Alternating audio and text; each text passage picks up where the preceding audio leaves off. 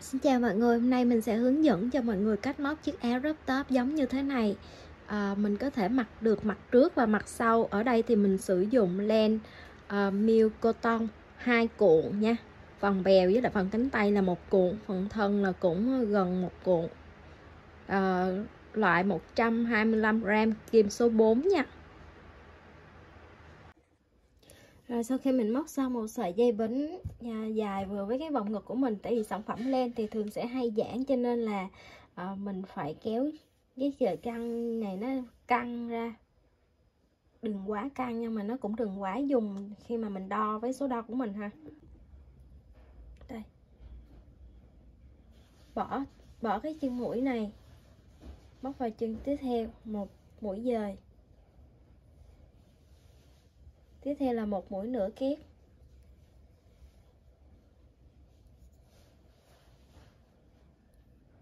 Tiếp tục là một mũi dời. Một là một mũi trượt trượt á. Một mũi nửa kép. Lặp lại như vậy hai mũi cho tới cuối hàng. Và ở cái hàng cuối cùng của mình, cái mũi cuối cùng của mình sẽ là một mũi dời nha cái mũi cuối cùng này là một mũi dời nha. Ví dụ như mọi người móc về mũi cuối gần tới đây nó dư vài mũi, nhưng mà mình, mũi cuối cùng cùng của mình kiểu gì thì cũng phải là một mũi dời nha.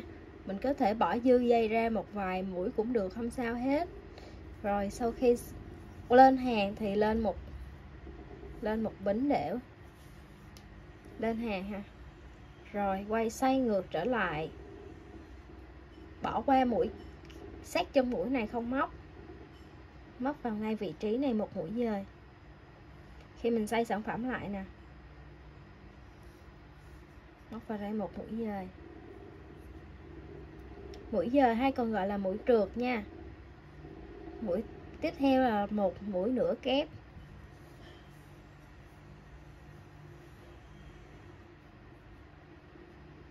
Tiếp theo là một mũi dời lặp lại y chang như vậy nữa, một mũi dời, một mũi nửa kép.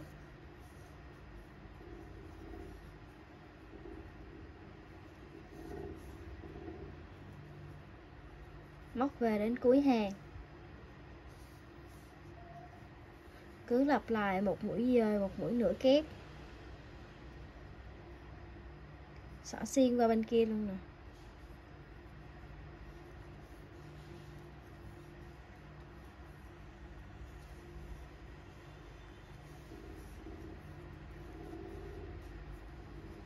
Xỏ là xỏ qua hai dây luôn á nha. Nè, đó, một mũi dời là mình xỏ qua đây làm nó qua hai dây luôn nè.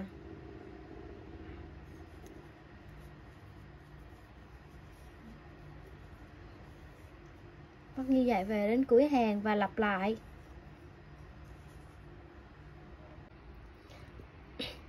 Đây là cái sản phẩm của mình sau khi chỉ móc hai mũi mũi trượt và mũi nửa kép và lên thành nhiều hàng.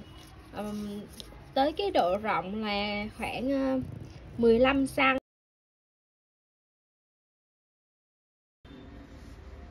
từ sản phẩm ở đây thì mình sẽ móc lên nhiều hàng.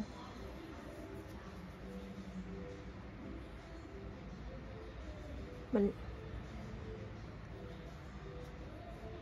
móc toàn bộ là mũi đơn.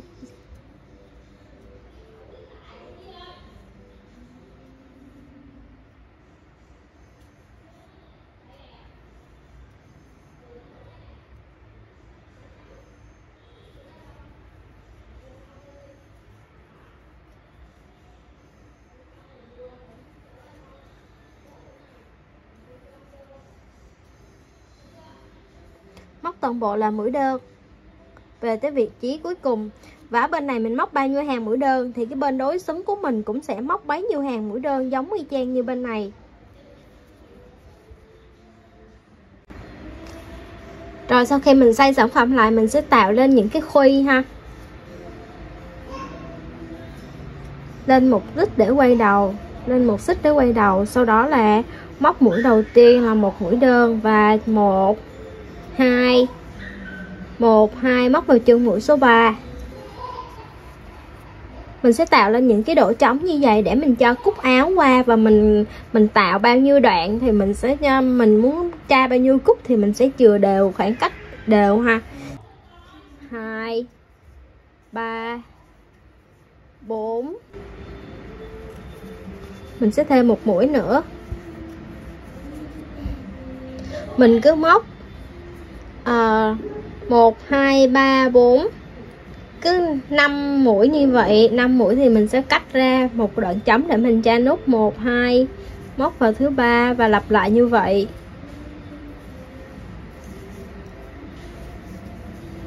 Một hai ba bốn. Năm. Một hai một hai ba.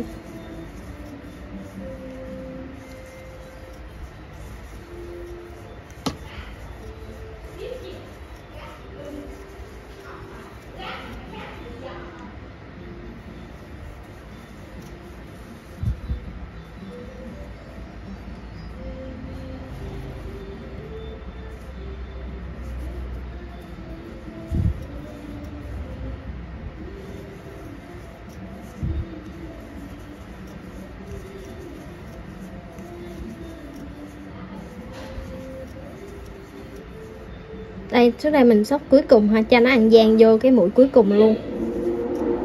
Đó rồi xay sản phẩm lại.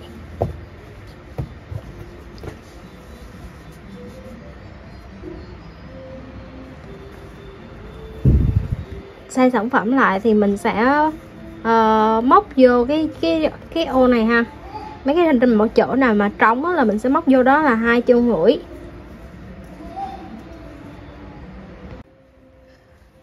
đó mình cứ móc toàn bộ là mũi đơn hết. Nhưng mà vô những cái đoạn trống như thế này thì mình sẽ móc trực tiếp vô trong cái lỗ trống này là hai mũi nha. Tôi, cái chỗ trống này không phải lúc nào mình cũng chừa lại hai lỗ đôi, hai hai mũi trống để nó tạo độ trống như thế này, tùy vào cái hộp nút của mình nha. Và mình cứ móc lên khoảng hai, ba hàng mũi đơn để mình làm cho cái nẹp khuy của mình nó chắc chắn. Ở phía bên kia thì mình cũng móc ờ, đối xứng còn lại. Còn không á nếu mà mọi khi mà mình móc cái khuy xong rồi á mình ừ, ướp lên đây mình cảm thấy với nó vừa với vòng eo của mình thì mình tra cúc trực tiếp vô vô đây luôn cũng được. Hoặc là mình móc lên một hàng mũi đơn giống như vậy để ờ, làm cái bát để mình mình mình tra nút cho nó nó cân đối với bên này cũng ờ, cũng được ha. Rồi sau khi mình móc như vậy rồi mình sẽ đó cái ở trên thì mình tạo khuy cái ở dưới thì không và mình sẽ tra nút. Rồi sau khi mà mình đã tra nút rồi mình sẽ đánh dấu ở phần trước và mặt sau ha. Mình đếm từ đây là 1 2 3 4 5 6 7 8 9 mình đánh dấu ở đây và ở đây mình đếm ra cũng vậy. Và mình đánh đối dấu đối xứng với lại à, à, ở phía sau luôn. À, làm sao mà để hai bên nắp này từ số mũi từ bên này qua phía bên này từ bên này qua bên đây là giống nhau. Sau đó mình sẽ móc lên phần tay áo.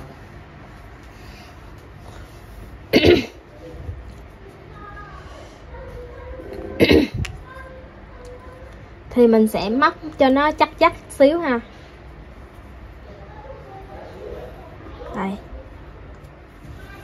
Mình sẽ móc lên phần à, một sợi dây bính.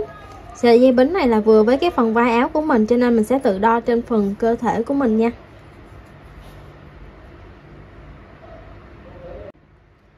Mình móc lên cái đoạn dây dài khoảng 30 cm, mình móc nối qua phía bên ờ, ở dây phía sau nè.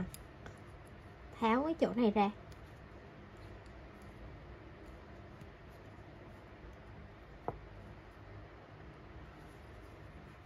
Rồi. Móc vô đây một mũi dời.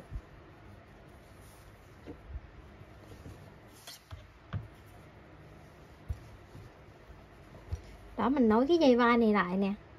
Lên một nửa đời sau đó là mình sẽ tiếp tục uh, móc lên. Một hai xích. Ngay chỗ cái góc này nè. Mình móc một cùm mũi sò.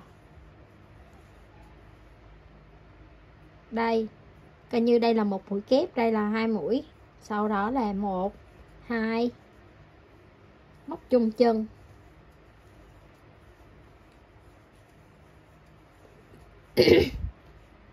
rồi tiếp theo. Từ ngay vị trí này. Một hai cách ra là hai ô ha cách ra là hai ô nè. Hai hoặc là ba ô tùy lượng mọi người muốn cái tay của mình nó xòe bao nhiêu thì mọi người à, phải canh khoảng cách sao cho à, phù hợp là được. Nhưng mình ở đây mình sẽ canh khoảng cách là cứ hai móc vào chân số 3 tạo khoảng cách. hai mũi kép hai mũi đơn hai mũi kép. Tiếp tục một hai ba.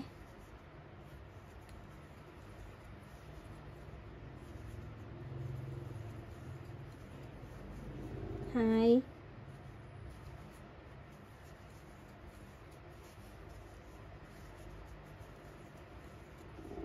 Móc cụm họ mũi sò như vậy là à, xung quanh cái phần nách nè không?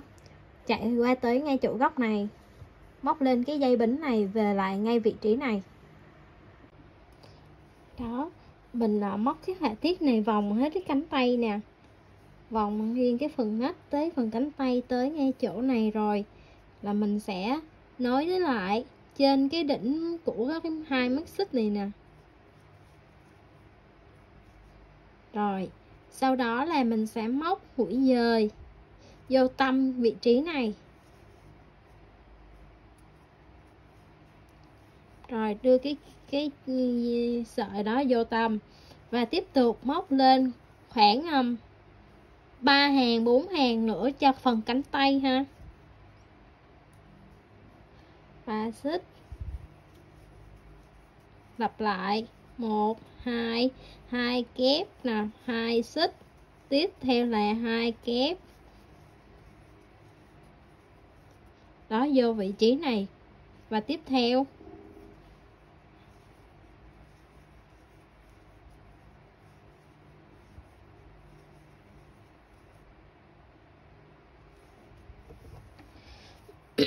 Móc lặp lại như vậy xoay tròn cái cánh tay này. Đấy là khi chúng ta đã móc xong hai cái phần cánh tay ha. Móc hai cái phần cánh tay xong. À, thì bên này khi mình lên hàng, mình lên năm hàng, và cụm hoa như thế này là 21 21 cụm, thì phía bên còn lại mình cũng móc như vậy. Mình móc cũng lên 5 hàng, và cụm hoa này là 21 cụm xung quanh cái áo. Rồi ở phần bên dưới mình lại ở phần bên dưới mình có thể móc giống y chang ở phần bên tay áo luôn, cũng được nha nhưng mà ở bên dưới thì mình sẽ làm nó hơi ờ, xòe hơn một tí. Làm nó hơi xòe hơn một tí thì nó cũng sẽ đẹp hơn.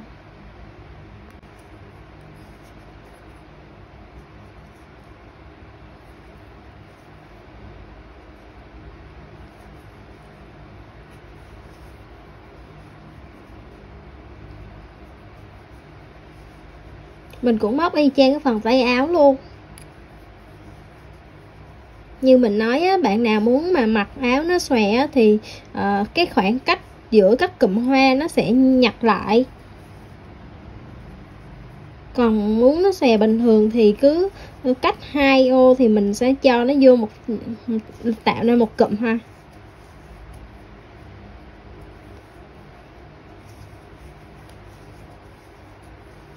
đó.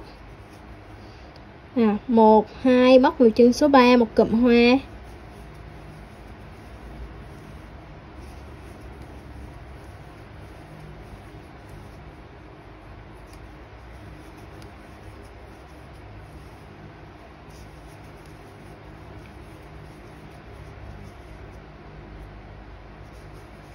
Cứ hai mũi kép hai mũi bính hai mũi kép chân một chân mũi. Lặp lại như vậy cho đến ngay chỗ vị trí của uh, phòng bên này ha mặt vòng như vậy. Khoảng cách là cứ cách hai một hai móc vào chân số 3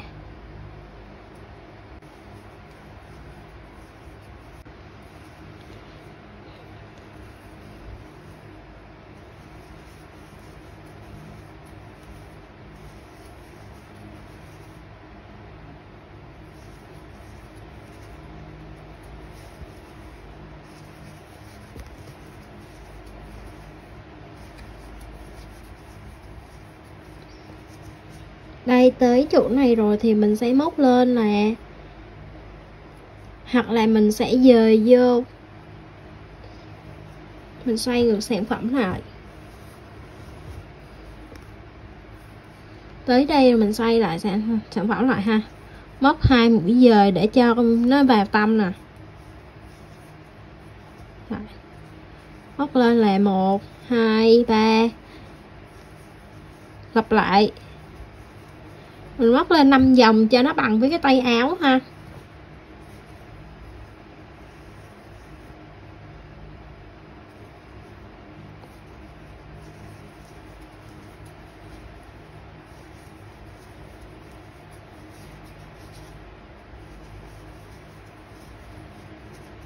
Móc lặp lại như vậy cho nó bằng tay áo về tới vị trí này là lên tới 5 vòng rồi mình đã móc thêm hàng và hoàn thành cái áo này rồi. À, mọi người à, muốn mặc mặt trước cũng được và mặt sau cũng được. Nếu như mà sau khi mọi người thử xong mà mình thấy cái cổ của nó rộng ấy à, mình cũng có thể đi thêm một hàng móc vào thêm mũi từ đây nè. Móc xung quanh cái cổ của nó một hàng mũi đơn giống như mình để mình à, cố định cái sản phẩm của mình nhìn cho nó ha nhìn nó rất là, là xịn. À, và mình cũng có ờ, làm thêm một cái dây. Tại vì thường thường mấy cái tay mà mình móc kiểu giống như vậy á à, nó hay bị rớt vai lắm. Cho nên là hả mình sẽ móc thêm một cọng dây để mình luồn qua. Ví dụ như mình mặc mặt này ở phía sau thì mình sẽ uh, cột cột cái dây này lại với cái phần cánh tay ở bên này để cho cái vai của mình nó không có bị rớt ra nhé nhìn nó cũng ờ, dễ thương chứ không có đến nỗi mà ờ, kỳ. Nếu mà mình mặc mặt nào thì mình sẽ cột ờ, cái phần này ở phía sau sau lưng. Mọi người nhớ đăng ký uh, ủng hộ kênh của mình nha. Nếu mà kênh của mình phát triển mình sẽ làm thêm uh, những cái mẫu áo dễ thương nữa để cho mọi người cùng uh, cùng làm. Cảm ơn hẹn gặp lại mọi người.